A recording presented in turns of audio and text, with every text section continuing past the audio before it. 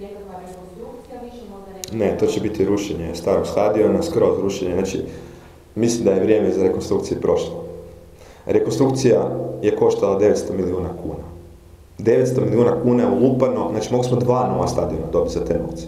Znači, to, ja u tu zamku koju je bivši gradonačelnik upao, nema šanse da upadne. Znači, rušenje starog, gradnja novog, modernog stadiona sa svim ovim popretnim sadržajima, ići će prvo studija izvodivosti, onda ide arhitektonsko-urbanički natječaj koji će biti međunarodni. U prvoj fazi ćemo imati zapravo organizaciju prostora, znači da se vidi gdje bi se šta smjestilo na tom velikom zemljištu od 300.000 kvadrata, koji je sada ponavljam potpuno u grada Zagreba bez ikakvih tereta i konačno Zagreb nakon 26 godina može raspolagati sa tim zemljištem i nakon toga bi išlo samo znači, idejno rješenje i natječaj za privatnog investitora.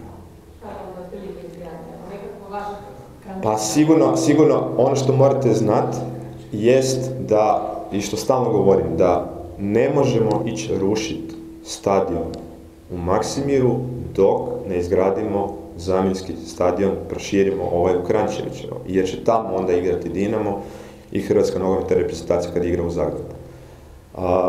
Trebali bi početi radovi, kao što sam rekao, na Krančevićevoj sljedeće godine. Kad završe ti radovi, što će biti negdje 25. godine, očito tek onda možemo početi rušiti Maksimirski stadion. Ali do tada ćemo raditi paralelno na svim ovim procesima. Arhitekt urbanički natječaj, studije izvodljivosti, natječaj za privatnog investitora. Uvijek radimo paralelno, nikad ne radimo ono konsekutivno, jednu po jednu fazu, nego radimo paralelno, tako da ne gubimo ni mjesec, ni, ni mjesec dana.